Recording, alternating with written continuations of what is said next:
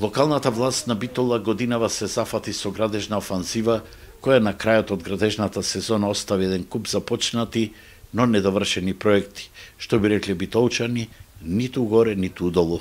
Ова состојба најмногу ја почувствуваа граѓаните каде што се реконструираат улиците. Ова е, има месеци ова.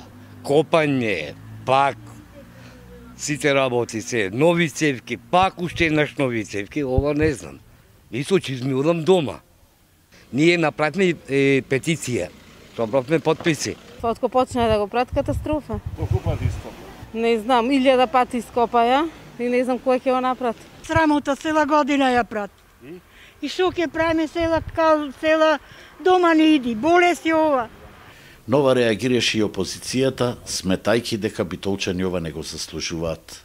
А ние се соочуваме со незавршени улици, со неизградена канализација, со водовод неизграден или поставување на коловоз на сега пресно е на улица во центарот на градот на која што не се смена подземната инфраструктура.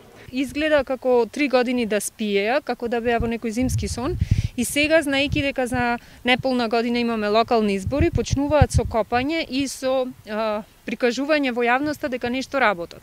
Сметам дека битолчани немаат заслужено после три години некој да почни да копа и да ги остави работите неколку месеци ископани. Само проектот со најдолгата улица Илинденска доволно говори сам за себе. Ја остаја овде улицата, пола не направена, од зад мене гледате колкаво ѓубриште, значи ни тоа не го фатија. Тротоарите не ги пополнија, цели останаа со дупки, не можеме ни утовар, ни растовар да направиме. Се претераа доста изведувачи, подизведувачи, меѓутоа сега остана и останавме ни на небо ни на земја.